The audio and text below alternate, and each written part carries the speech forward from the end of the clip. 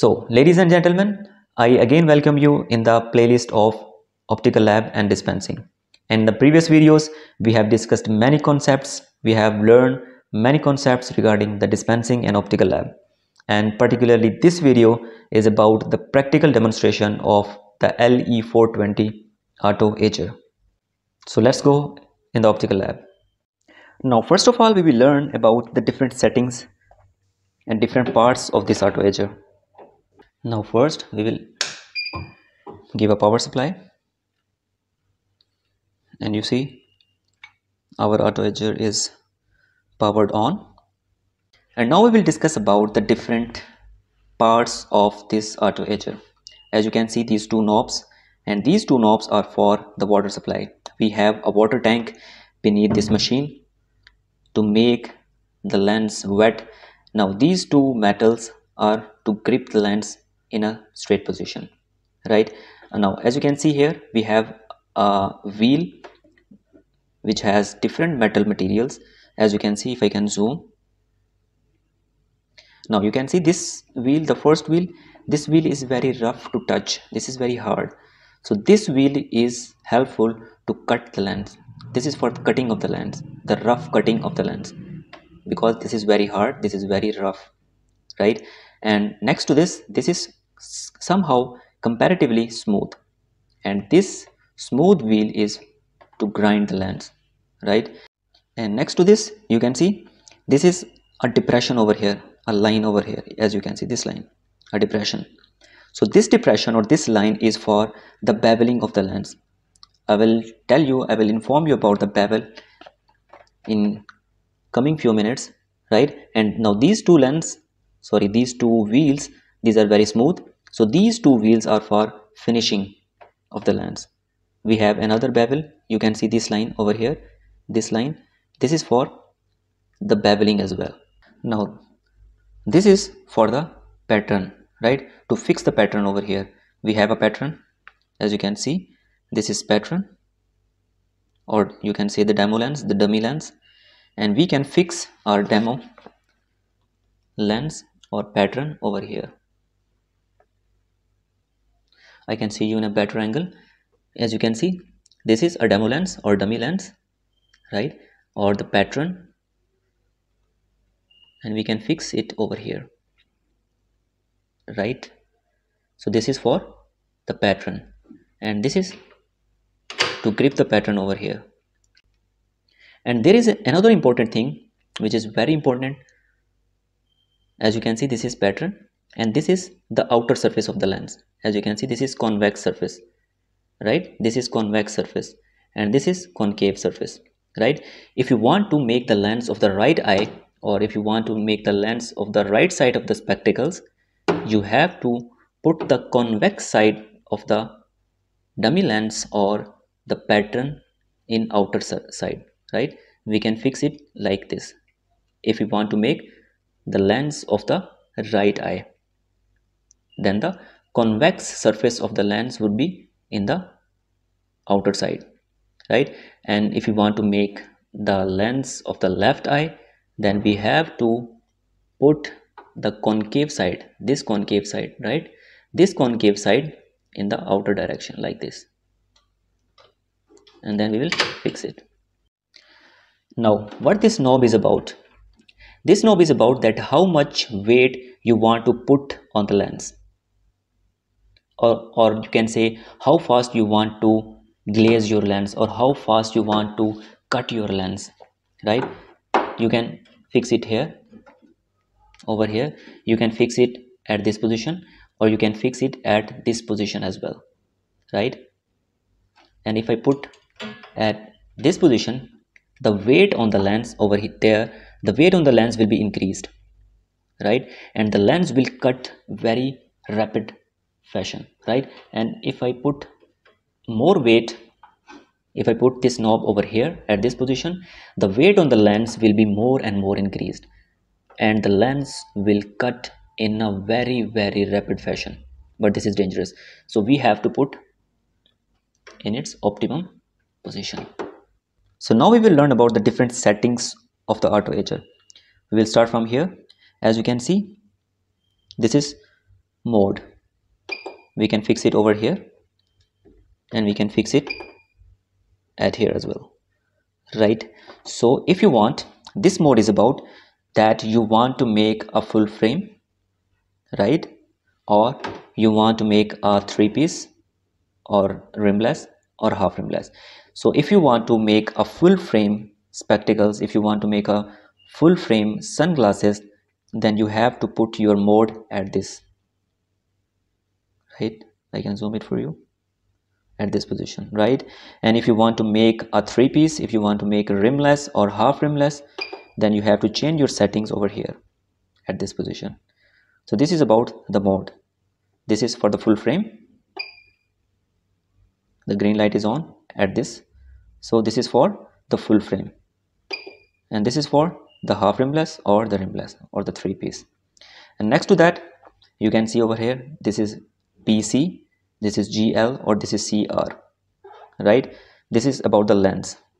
That which type of lens which type of material you want to cut you want to make.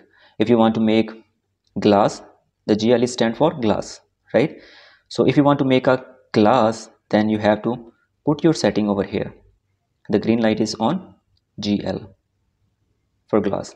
And if you want to make a plastic lens then you select the CR right? The CR39 you know. And if you want to make the polycarbonate the setting would be over here. And you have to keep it in mind and important thing to remember that if you will select the polycarbonate then the water supply over there will be stopped. Right? As we can see these knobs are for the water supply these water supply would be stopped if we select the polycarbonate. This is about the lens size. And right now the setting of the machine is at 0.00 you can see right? This is minus this is plus as well. So this lens size is about that as you can see we have discussed about the pattern we have discussed about the dummy or the demo lens over here. So if I want to make a new lens right accord exactly according to my the my pattern or my demo lens then I have to select the setting at 0.00 right? If I want a new lens exactly same as my pattern right? So I have to put 0.00 setting right? If the but remember if the calibration of your machine is fine. If the calibration of your machine is good is accurate then 0.00 mean your new lens will come out exactly at the same size as the pattern right? And if I somehow increase like if I go at 1.00 as you can see then 1.00 this is plus. We have moved in plus direction. So it means that if I moved in plus direction and the value is 1.00 then it means my new lens will come out after cutting after glazing about 1 millimeter increased in size as compared to the pattern right? And if I go 2.00 in plus direction then it means my new lens will cut about 2 mm increased in size as the pattern right? And if I go behind in the minus direction then it means this is minus 1.00 then my new lens will come out with decreased in size right? The size will be reduced about 1 mm right? Minus 1.00 means the new lens will come out with the size of 1 millimeter reduced as the pattern right? And if I go at minus 2 then it means my new lens will be reduced in size 2 mm as the dummy lens or the demo lens or the pattern right? I hope you understand. Now we will move in next settings. As you can see over here this is the test button right? The test setting. First of all when you powered on your machine first of all you will put your finger at test button right? This is to test the machine that it's working normally or not. If the water supply is coming normally or not if the power supply is coming normally or not. So if I put this test button on you can see the water supply is fine right? The power supply is fine so it means that my machine is working perfectly. Now the next is this V button. And you have to remember I'll explain the V button in next few minutes with the bevel. You can see this is a full frame right? And you can clearly see a depression in every full frame right? So we need to cut this new lens in such a way so it can fix in this full frame accurately right in this depression. So it can set itself in this depression. This is called the bevel i'll explain it later. So first of all we will get the power of the lens and we will mark the axis. We have a detailed video on this digital lensometer. So we will put the lens over here. As you can see the power is 2.75 with minus 1 cylinder. And we will mark this circle. We will move the circle at the central position so we can gain our optical center.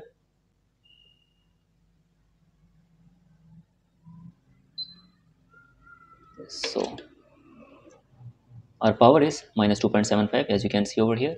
Cylinder is minus 1 and our axes are 71 more or less 70 now we will mark the axis. So as you can see we have marked the axis. These are 70 axis right? So this is called the lens blocker right? And if you want you know these are our axis as you can see. This straight line these three dots representing the 70 axis and this is blocker.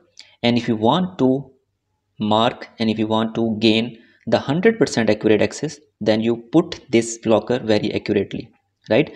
As you can see this metal line this metal line in the blocker should be 100% aligned with this axis line. If you put in in this way if you put in such a way if you put in such direction then the axis would be changed. So this is very very important thing that your metal of this blocker this line of the blocker should be 100% aligned with the axis line right?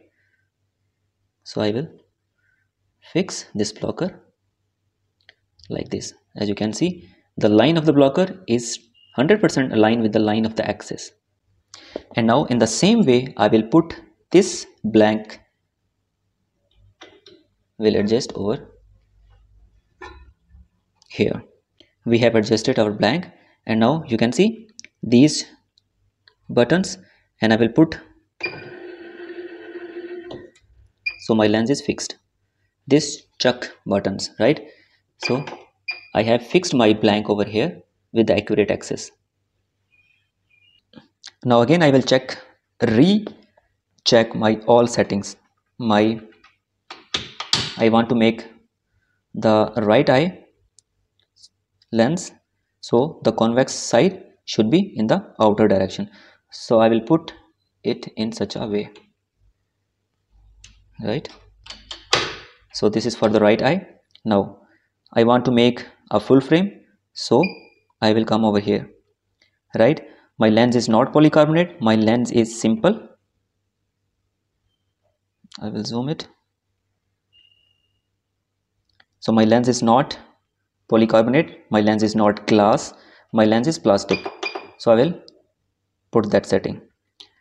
Right now the lens size is at 1.00 in plus direction but I want my new blank right exactly at the same size as my pattern. So I will come at 0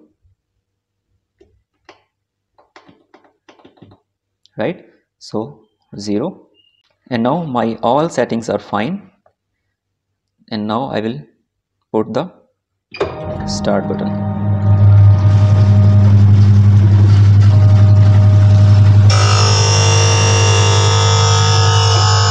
as you can see the lens is grinding at the edge of the wheel. If you want to come the lens over here you can press the button right?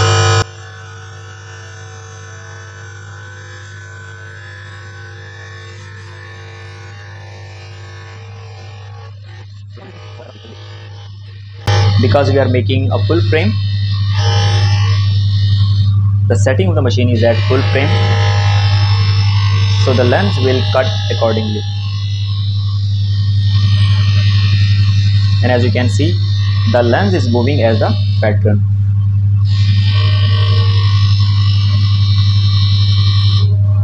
And now you can see the bevel is over there.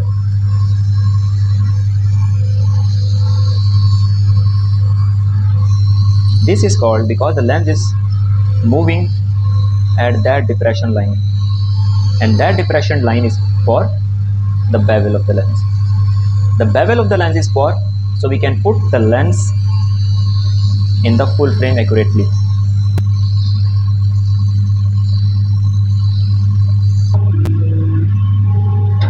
And this is finishing bevel.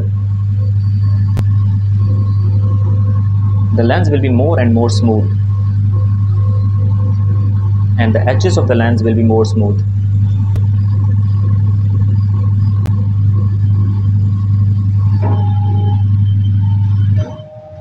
Now you see the lens is ready and the machine is automatically at its rest position. And now we will put our lens out. First you have to put it here. You have to grip your lens and then you will press this chuck button. Now your lens is released. Now as you can see this is axis line and this is the matter line. The alignment is the same. So there is no any chance to change the axis right? And as you can see the pattern this is pattern the dummy lens and this is the real blank. Both of them have the same size and the same shape and now we will remove this blocker and we will put this lens in the frame.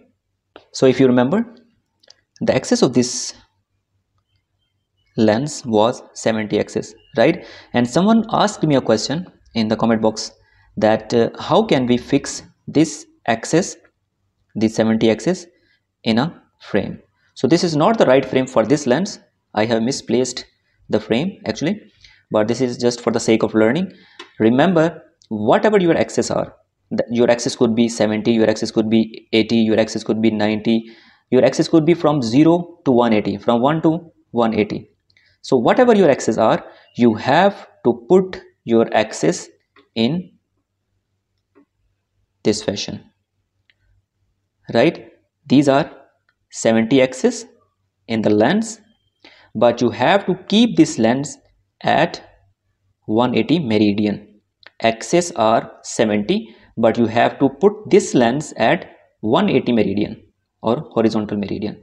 It doesn't mean that if your axes are 90 then you have to put this lens like this because this is 90 axis right? And if your axis is 180 then you have to put like this right?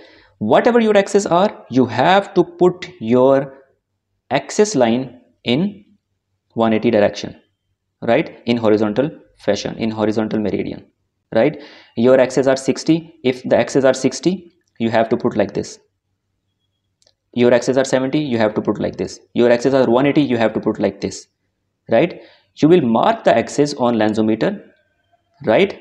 Whatever the axes are 70 60 80 180 170 whatever axes are you have to put the axis in 180 meridian like this in the spectacles right so this is very tough job to do, but as an optometrist and being an optometrist, you must have some extraordinary skills regarding the dispensing and optical lab as well. So we will see you in the next videos.